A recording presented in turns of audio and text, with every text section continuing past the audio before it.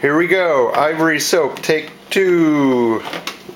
Just put it in and then put it on its side. Hold on, hold on. Put it on its side. Oh,